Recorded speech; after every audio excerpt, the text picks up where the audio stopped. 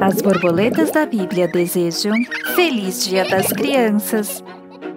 Ben e Bela adoram ler a Bíblia. Eles decidiram ler a história Jesus e as Crianças.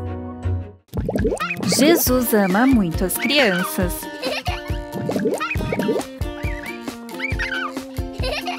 Ele estava na Galileia ensinando a multidão. Todos queriam conhecer o Filho de Deus. As crianças também queriam ver Jesus e seus pais desejavam que Jesus abençoasse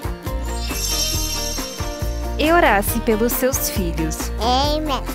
Muitos pais e filhos se juntaram e foram conhecer Jesus. Acharam ele no meio de muita gente. Os discípulos viram as crianças e seus pais. Falaram para eles irem embora. Jesus tinha coisas muito mais importantes para fazer.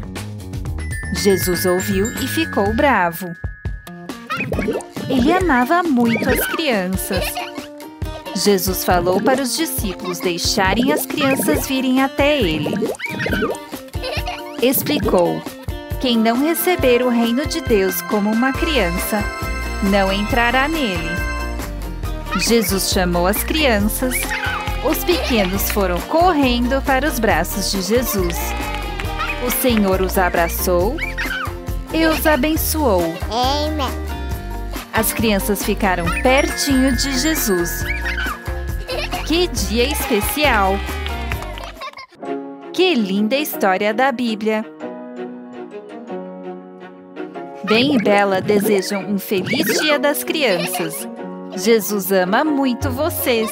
Suas asinhas estão brilhando e seus corações cheios de amor e alegria por Jesus. Obrigada por assistirem. Se você gostou do vídeo e quiser apoiar o canal, dê seu like e inscreva-se. Até a próxima história!